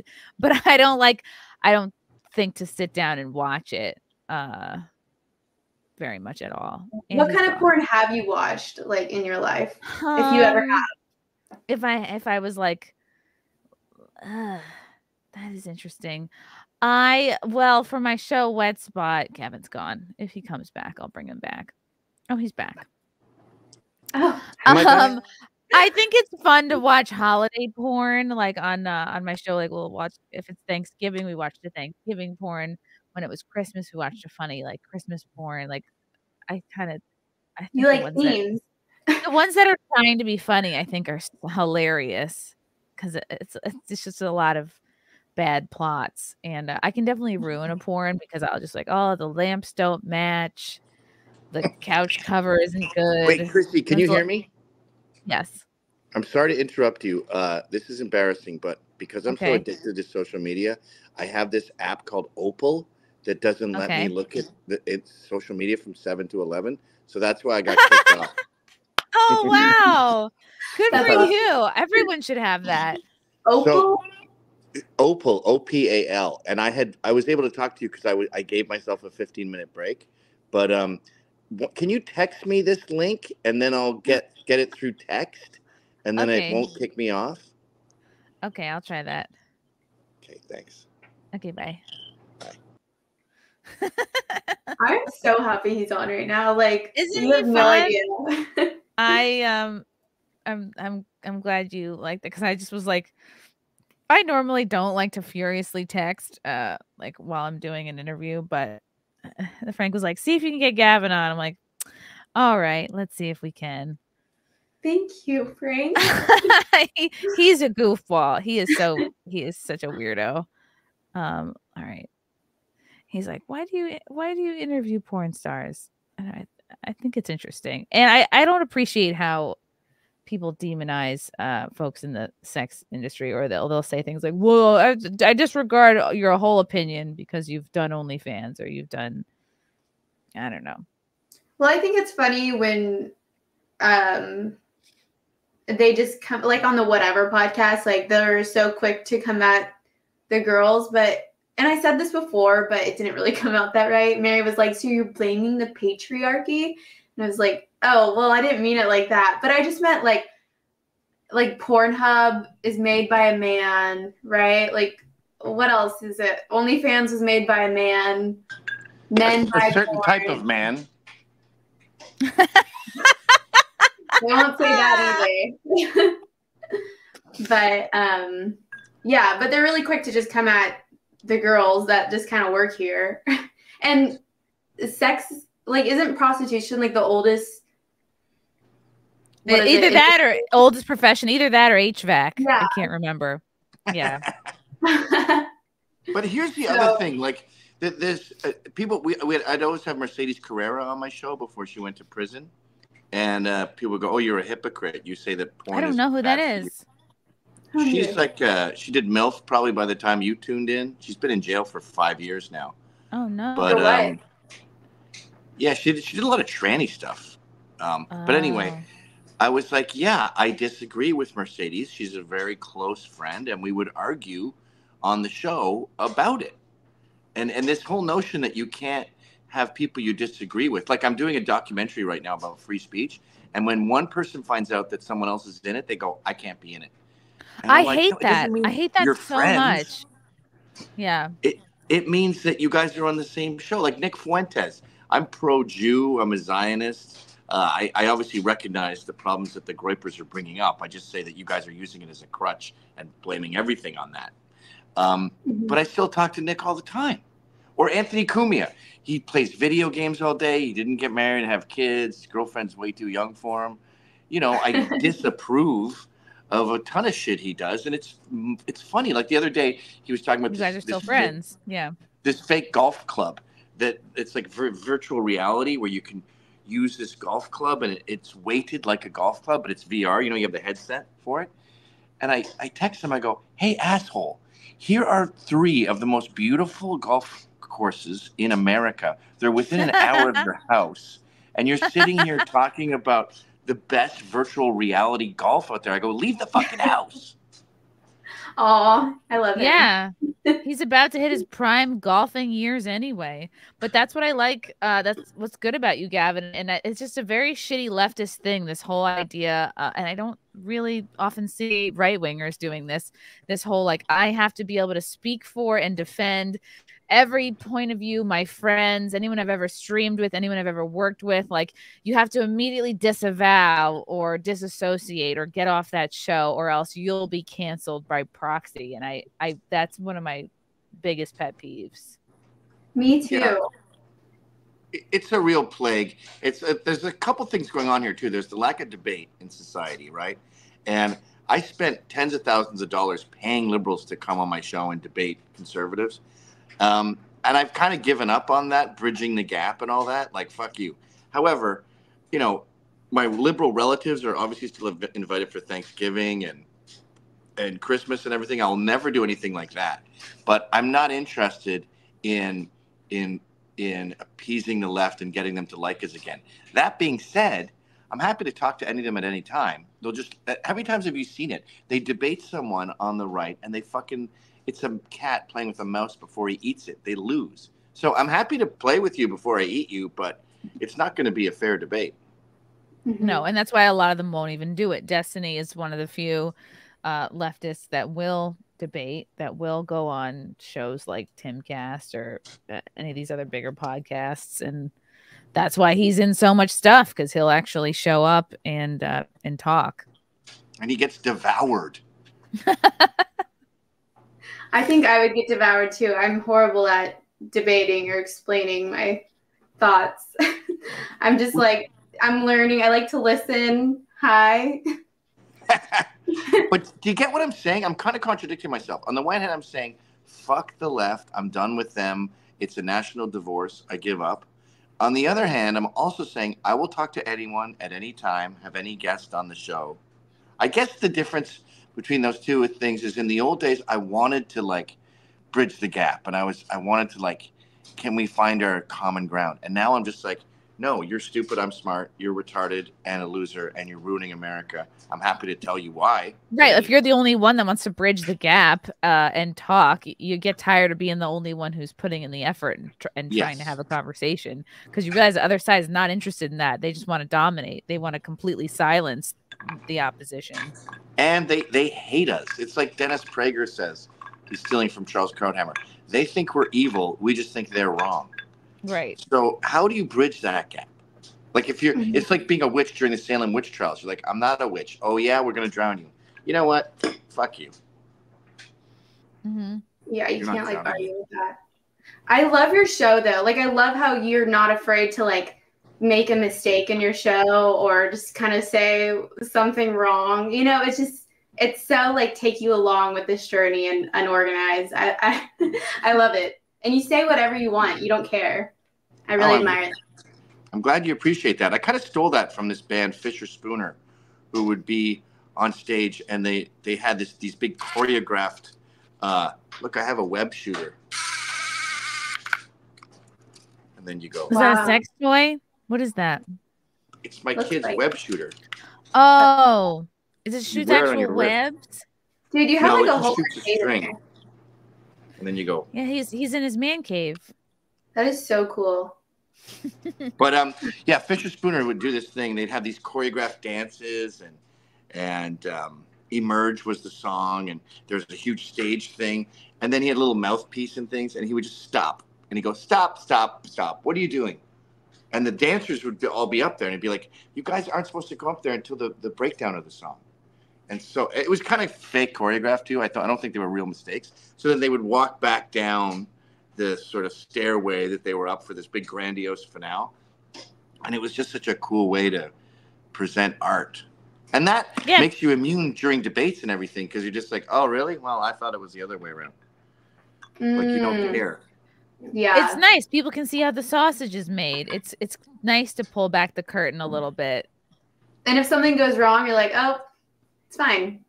Not the end of the world. I love it. Yeah, I used to say that to the cleaning staff too. Like uh, when you're here for filming, just mop around us. Like, isn't that it? It's it's cooler to have some Mexican lady sweeping in front of your desk as you're doing a show. That's great. Yeah. I'm sure It's people like that actually. You should do that with OnlyFans. You can queef. We actually make a shirt.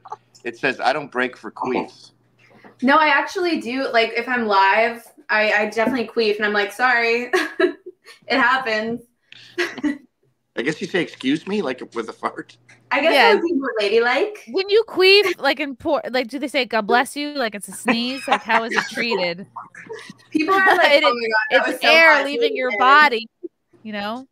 I can't queef on command though. Some li- women are like, there I was know like a girl a in queefing college who queef on command. Yeah.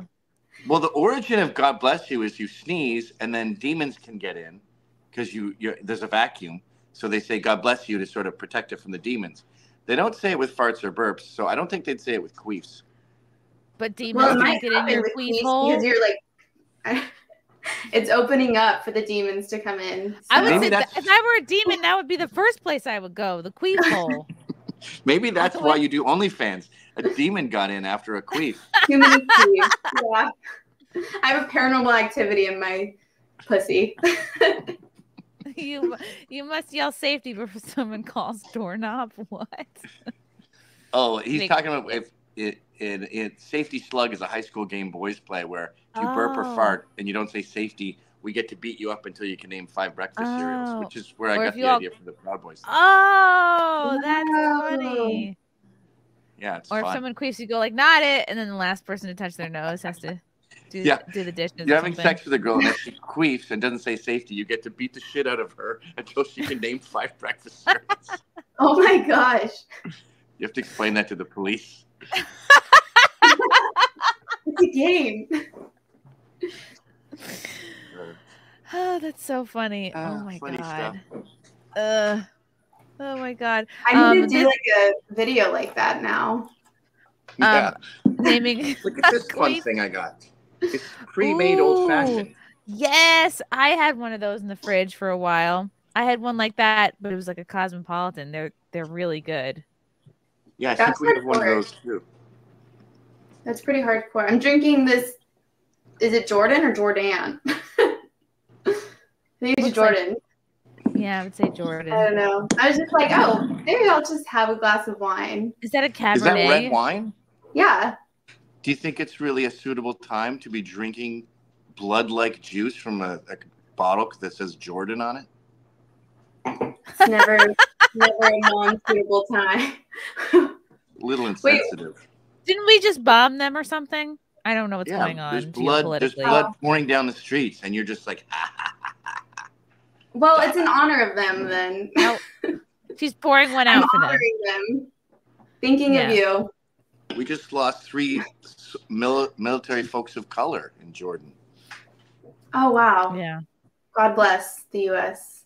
And Did then you hear that? but- Karine Jean Pierre, the press secretary, she's like, "So we lost three, uh, three uh, uh, military, uh, military people, folks, military folks, um, who so were she almost said people of color. I don't. I, I think she doesn't know. Like, if you say Army, Navy, Air Force, military Oh, Uh, okay. personnel, like soldiers, People of weapons. Right. people of weapons, people of weapons destruction. Oh I haven't listened God. to her in a long time. It's really hard for me to like listen to what she says She's without. retarded. Yeah. She's. Do you know how many times she would have been fired? Like if you imagine a white male said uh, three military folks were killed in Jordan. Bye bye. Yeah. You're they'd be like, toast. Here's your box. Pack up your desk. She could. She could just come out on stage nude and explosive diarrhea on the curtain behind her, and people would be like, "Well, she's under a lot of stress. Let's give her a Well, rest." well, she's a brave person of color. Cut her some slack. brave You lesbian. think she's better midget. than that Jen Psaki girl? Oh, No. Or is she worse? Jen Psaki But- was more fun to make fun of. Yeah. Psaki was, With her yeah. ums and her, I will we'll circle back. Mhm. I mean, they're both terrible. it's sort of like the mayor of Chicago, like uh, Brandon Johnson versus um, Lori Lightfoot. Like we're dealing Oh. with levels. It's like Beetlejuice versus Gary the retard.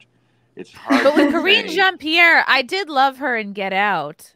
Uh, I think she was great in that movie. she was she was good in that. Have you noticed, by the way? I, I started a new show with my kid. It's my youngest boy. He's eleven. It's called uh, Mothron, Mar- the monster thing with Godzilla. Mothra, Mothra? Marathon? No, what the fuck's it called? Anyway, it's it's on Apple TV, and it's it's what's his name from Escape from New York, isn't it? Russell. Oh my God, I'm Brand? so old. No, Grant, the Escape from New York guy. Moth, Mother, Moth. Anyway, Monarch, Mothra. Monarch. That's it. There Oh, okay. Sea And there's this Japanese scientist in it, and she's a woman. Okay, that's okay. It's okay. And they all females in movies and TV shows now, especially action, they have this like cunty attitude where like she's driving a jeep she picks up this guy who's going to be protecting her and she she gets she's driving the jeep and he goes uh would you want me to drive and she's like why you scared and her face is like this like Uh, yeah, they try to make them like manly. they like to be condescending. and not just any man, like Biff from Back to the Future, or like a, one of the worst dicks. This weird, arrogant bully, like snatching the cigarette out of your mouth and lighting it and being like, "I could do with a cigarette," and you're like, "Fuck off." They're all cunts. yeah, they are. Do you notice like in commercials now they make the guys like they always make like the white guys very dumb. Like if there's a white dad in it, he's like oh yeah, trying to do the dishes and he doesn't know how to do it. they're and just like doddering. They're doofy. They're like yeah, I'm like they're what not are in y'all trying to charge. Yeah, that's There's on a whole purpose. Twitter feed of that. I think it's called "White Men in Commercials." And do? it- Oh really? I just saw one the other day at the the foot was it the foot oh the Grammys, and it has this black guy driving a car very well, and it goes you don't want your rates to reflect other rates, you don't want it to reflect Paul, and this guy Paul is like a white guy in a mustache doing donuts, which is not really the pattern here, folks. Ah. Yeah. And then it has Yeah, would Paul- like Who's more likely to carjack you, Paul or the other guy? Okay. Yeah. Well, they had three dumb whites. One was called Sarah, and she was crying and like swerving all over the road. And then the other guy was Billy, and he's playing some Candy Crush game on his iPad as he drives. But here's another example of the new cunt. Um, you know that Obama thing on Netflix uh, about the end of the world, yeah, and it's the- the black black couple, a black dad and his daughter, and then a white uh, guy and his wife, and they rented his super nice house as an Airbnb, but it's the apocalypse, so he it's like they left us behind or something, and the the white, the, sorry, the black daughter, she doesn't have to be like that, but she's all like.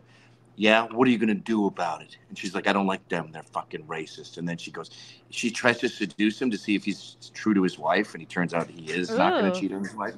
And I don't understand how they made this character because all you're doing is creating this cunt protagonist that no one likes. No one on either side is into this human being. I think there are female writers, and we see this in a lot in in movies too. Uh, that female writers they they're kind of like trying to live vicariously through these characters, and they think that a that a strong female character cannot be strong in feminine ways, uh, but that they have to be strong in in masculine ways. They have to be like men to be considered like serious or leading characters. But it's it doesn't really That's translate because most Mhm. women are not like that because think of the strong women in your life your mom your grandma are they girl bosses no it's grandma makes a mean sauce she does the seven Yeah. fishes at christmas like she's yeah, they're nurturing they're there for you they listen they fucking french but they're not they're not being like who gives two shits you know what i mean they're not like Right. tough and they don't come out of the gate swinging. Like if you, a strong, empowered, intelligent woman, if you fuck with her or her job or her kids, then the lion comes out.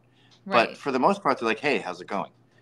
These new cunts, they come out of the gate swinging. But I think no that's a good theory.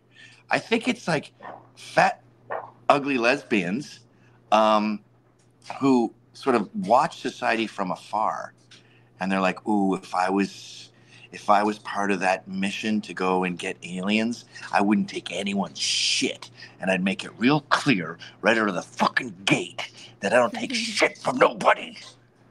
And they make It's like and- who they think they need to be. t- Yeah, The version of them that would have succeeded or done better in society. And it's like, no. It- and it's, often a very- pretty the actress is usually a pretty girl so you have this pretty girl with this fat lesbian cunt personality and you're like that's not been my experience Yeah. I think it's like a fantasy. They're not like basing their writing off true experiences. They're just It's like, what oh, they think they need to be powerful and make moves and and be more uh have more an effect on people when really it's like the way to do that is to embrace your own nature and and be Yeah. the best you can be well the writers don't look like the people. Like there's another one the fantastical negroes. Oh yeah the magical society. And it's it's like a harry potter but black but also super woke. And the protagonist is this mulatto guy. And he says at the beginning of the trailer obviously i haven't seen the movie he goes yeah i uh i get kind of nervous around white people.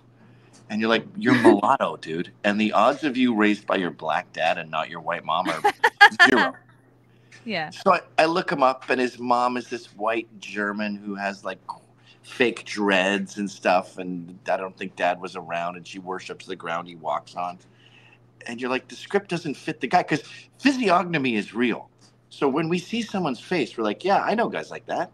yeah Or even with mulattoes, you don't have to get into physiognomy, it's the skin tone. Clearly, this guy's been around white people. Like fucking Jordan Peele, Mr. Get Out. He goes, yeah, yo, I, I can't really see myself writing a movie, a script with white people in it.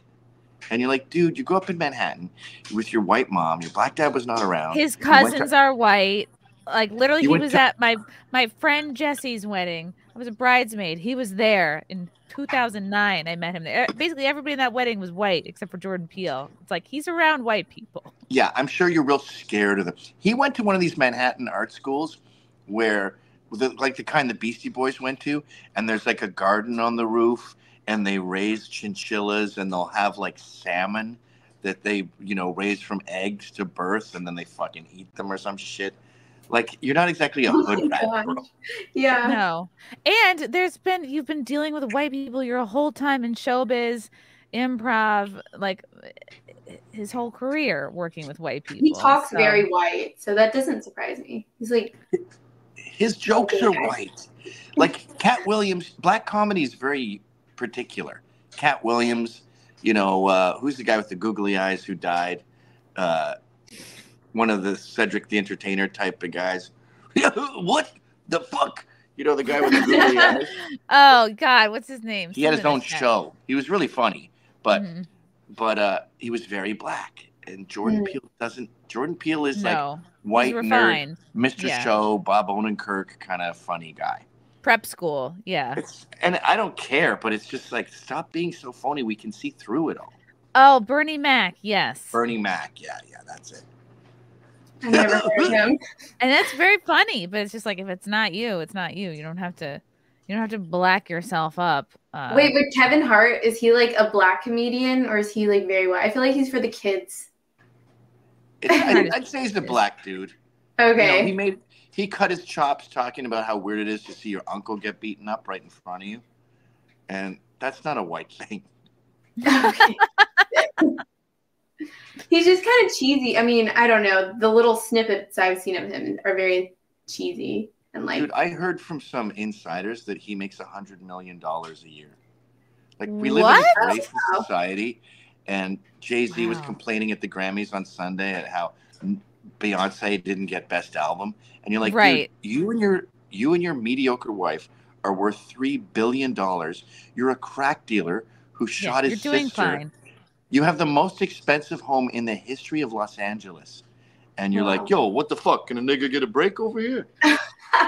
Uh, yeah, and it's like, look, You your are a break. sister-in-law attacked you in an elevator. Uh, other than that, you're doing great. Look at Snoop Dogg. Like he's another murderer. piece of shit garbage. We, we white people get canceled for because their dad said the N word. Snoop Dogg is a murderer, and if you turn on the TV right now, he's advertising soap, Corona, fucking outdoor fireplaces, everything. He Mhm. is. He advertises everything. Maybe I Alec. Baldwin. Maybe Alec Baldwin will be our Snoop, like the Snoop of the whites, because he killed somebody and he's True. he's not gonna I hope so. go away for it. Well, that's Same when that was his name, Keep- What an George inspiration. George Santos, that lying guy who who said he was Jewish and he uh, he faked his education and he he was embezzling money. And he's I guess he's Hispanic and gay, but I'll take him. And when he was getting caught with all this corruption, I was like, good. Finally, we have a guy. I want us to have some corrupt cocksuckers. Yeah. yeah. Also, um, I'm not sure if it happened while he was Caitlyn or while he was Bruce, but like Bruce Jenner fucking hit somebody with his car. I think it was like three months before he was Caitlyn. Yeah, it was like at the exact same time. He's I like, thought look, it you're gonna right. transition. What do you want to get out of the way before your new life? Like, what do you want to do? Well, I think he was. They were like, Bruce, you're fucked. You're going to jail. Like that's murder. And he was like, Yeah, Bruce is fucked. Bruce is oh gone. Oh my god! Imagine if that just inspired the whole transition. Wow. That's what I thought, honestly. But maybe not. I mean, at the end of the day, it's just growing your hair long. I don't think he cut his dick off, although Kanye told me he did cut his dick off, but there's no evidence of that. How would to see it. Kanye know? Kanye He was said like, he called him and "Prince asked him. That's so interesting. that would be my Wait, first When's the question last time too. you talked to Kanye? What? You talked to Kanye? When's the last I time met you him talked- once. That was only in Oh, time. okay. We spoke. They, that he one day. interviewed him. but I got a, I got a, about a year of conversation out of it. Uh, yeah, that's amazing. I hope That's I hope he's doing okay. It just seems it just seems like he the next girl he dated looks exactly like Kim Kardashian and I uh, wish she'd she grow just her hair out. I hate short. I know bald looks bad on almost no one. If I mean, you're looks fucking her good. from behind, and she's not super curvy, you're looking down at a 12 year old boy. Uh, So but you she is super me. curvy. Yeah, But still, there's nothing to like grab. I mean, I guess the hips, but like the hair is fun to pull on. it know, looks weird. It Yeah, looks weird. You need hair. The little shoulders and the, the this hairdo. Yeah, no, you need hair. Um, Adam, thank you for the super check. Did you hear Owen Benjamin is being sued by his documentarian Time to Spill the Beans? Yeah, I was joking. Um, I did not hear about this. Wait, who's getting sued? Ben- Owen Benjamin? Oops, no, that's a bad layout. Let's do this. I have Uh, not. I have not. I can heard adjust my picture, by the way, if you want to go more vert. no, it's okay. Uh, who's suing him? Uh, h- t- Owen Benjamin's documentarian is suing him. Whatever that means. I don't know. I don't know about that. Okay, that's Uh-huh. juicy gossip. A little gotta- juicy. Unleash that. I don't know. Um, That's Okay, this super chat, please take this with a grain of salt, Violet, because this is from one of my uh, autistic super fans. Uh, Michael Gavinelli. Hi, Violet. I wanted to meet you in person. How was AVN last month? Did you ever thought jump into adult films on camera? thought jump into adult films. Thought- Thought, yeah, you had never done a thought jump.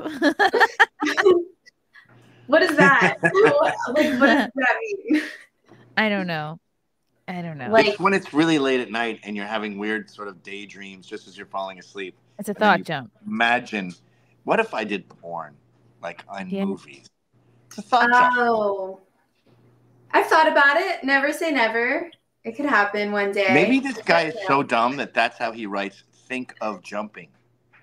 No, that's also how he talks on the phone when he calls into my show. Oh, Like he What's called his in on? Monday. yeah, I get it. What's his ethnicity? He's white. He's just Oh, uh, white with a closet full of porn, a literal linen closet full of porn. He called the show on Monday. He said, "Chrissy, how many months along pregnant are you?" And I and I just knew right away that there was something else. I was like, "You don't care how many months along I am," and I was like. I was like, "What's this about, Michael?" And he said, "Did your tits get bigger?" And then, sure enough, the real question. I'm like, "Oh God!" And I'm like, Wait, do your nipples get bigger too? Um, Like when you're pregnant? that's classified. Oh, okay. I just thought maybe. I really want to know. You know what's Thank a you. trip? I can tell you Uh, later. There, when you uh, are pregnant, this dark line develops that goes from your belly button up the center of your chest, and then it, it sort of spreads out, and it goes up to each nipple like a Y. I can't remember if it's a Y. I or don't T. have that. You'll Maybe get it's it. a Google It's- map. It is. It's for That's the kinda cool. baby to follow to find the nips. It's like a cave thing. Your body literally turns into a Google map. Your baby's like, where can I eat around Google here? And it's like, just follow the map. Yeah. You know what else is weird? When my wife was pregnant with our first uh, kid, a girl, she was like, "I need a grapefruit," and I was like, "Okay." And then I, she called me uh, on my way to the deli. She's like, "No, I need like 12. I go, "Okay." So I spent a fortune on grapefruits because you know how those bodegas will ream you for last minute shopping, and Yeah. uh, she ate them all, all 12 grapefruits. Citrus? And then we- was she having a boy or a girl? She was having a girl, but she was at the stage of the pregnancy where the brain is being formed, and apparently that process that needs a lot of citric acid. So her her body was like, "Hey, we're making the brain. I'm gonna need some grapefruits."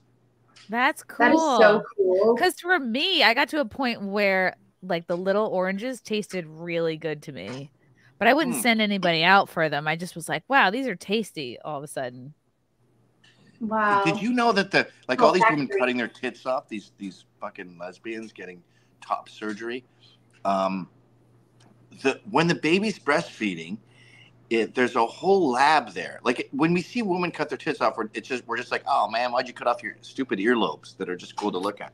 No, it's a lab, and when the baby's breastfeeding, it it's the nipple goes. Wait a minute, this kid has like zero zinc. So the breasts Hmm. then produce more zinc or whatever she's low on, whatever the baby's low on, and then that comes out through the fucking tits. So they evaluate- They evaluate. So you're like a GNC. Yes. the, the tits are evaluating the kid's chemical composition and then countering it. So, like, say the baby was too high on coke insane and it was it was tripping out. It, the the the tits would give it like some some Xanax to to take the edge off the buzz. What? That is crazy. That's wild. But don't See, give your baby what I'm coke. Te- don't test No. that theory. No, God, no. If your baby's high on heroin, the tits release Narcan. Oh wow. Yeah. So it's all good. Like you can you can get high while you're pregnant. It's fine. You can drink. Like, what if happens your if you baby- drink wine? What do they need if you drink wine while you're pregnant? You're only you can. I've read that you can have like a glass a night when you're in your like third trimester, but it's like the well, they say you can even do it breastfeeding a- as long as you pump and dump. really, uh, it's Mm. not even worth it for me. I would just get a huge glass of wine and lose track. Uh, I would just be like, "This is my glass. Here we go." Yeah. like if the baby food is bland, do salt and pepper come out of your boobs? Like, oh, Yes. they just know what you need. if if a black nanny is breastfeeding a white kid, like you you know these uh, what do they call them, wet nurses? A wet nurse.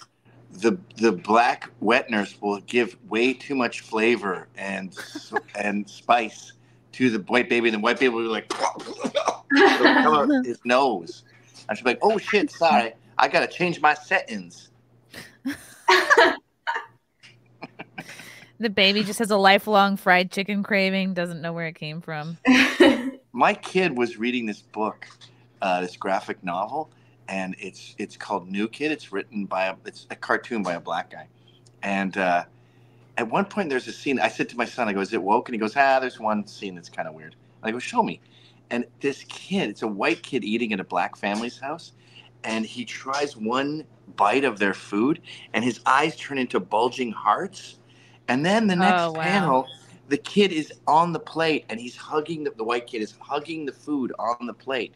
He goes, "What is this? It's the most delicious thing I've had in my life." And then the black dad at the table goes, "Uh, it's called flavor." oh God.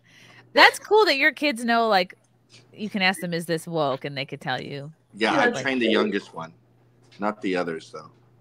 But here's the oh. thing about that that's annoying. I saw some chick who does cooking videos on TikTok explain this. She goes, "Yes, I don't put seasoning on my food because it's in the food. Like you don't see me putting garlic powder on Oh, my I chicken saw him say because I that. chopped up garlic and put garlic in there. I'm not putting like hot chili pepper spices because there's chili peppers in there already cut up. I don't need the powdered version. The real version is in there. That makes sense. Yeah. Like, you know, cooking. Yeah. So the whole like you- we don't season is a myth. Sorry, go ahead. I thought she was saying that the, she did have like the powder was the same thing. Like it didn't Yes. really matter. That's yeah. what I meant okay. to say. Yeah. She goes, Yes, I didn't include garlic powder because I have garlic. Yeah. Okay. Like, why do I'm the triggered by version? that too. I'm triggered by the whole like white people don't season their food or cook it. Like, all right, some don't. I don't mind some do. Criticisms that are accurate. Like, it is true that when white people walk by each other, we go,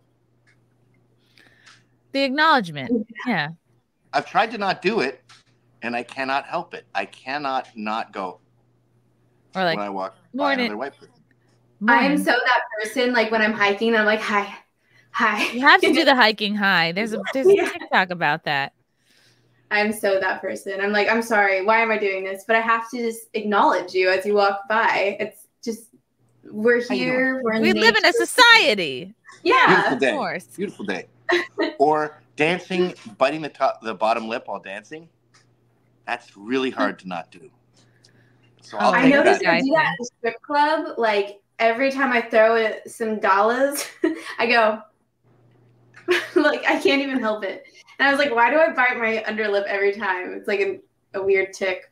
But yeah. So make fun of us for that. That's true. But uh, Yeah. the spicy food, the flavor food, that's fucking annoying. Yeah. Honestly, like salt is like the best thing. Garlic salt and salt. It's like the best thing you put. Yeah, that's the only seasoning you should do. Any other powder you put on is a crutch because you Mhm. didn't have the right ingredients. Is my Mhm. yes, it's a cope. all right. I want Um, to watch police videos of people. All right, go watch police. Body cam stuff. Gavin, what's coming up on censored TV? Any fun guests? Any fun things you're Yeah. working on? Tomorrow we got Anthony Cumia. We're gonna try Ooh. remote. It's not the same kind of vibe. I hope we can figure it out. It's it's weird when you have that kind of rapport and then you're remote. You know. I know. I hope you guys can work it out still. I will be flying out in the morning so I can make the show. So you'll be uh-huh. having me. Don't don't worry, I'll be there. I know you really want me. Okay, that's fantastic. But we I just said we will not be in the studio. That's the problem. Oh, well, what about for Thursday? Are you are y'all gonna be there on Thursday for the Yeah. cop show? Come on down. Thursday okay. Thursday we're there. We're going through police videos. We have a ton uh, of just females. It's funny. So much of this is women being arrested, losing their fucking minds, and female cops being total, totally unable to deal with perps.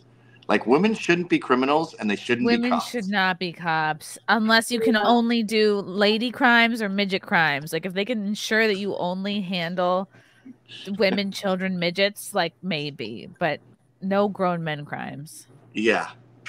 They're I love watching the women freak out when they're getting arrested though. I'm like you're Well, so I had an idea. I actually stole the idea from a viewer, but we're gonna make. I think we should make bingo cards because I didn't do nothing. Is in every single video. Why am I being arrested Oh. for? Is in Like a every single drinking one. game. I gotta call my. I gotta call my mom. but I, Oh, I, yeah. I need my phone. Is another one. Uh Repeating themselves. Oh yeah, 87 the loop talk. Yeah, that's a mm-hmm. big I feel like they say like like when they tell them to get out of the car or something like I'm about to, I'm about to. They say that a lot, right? Yeah.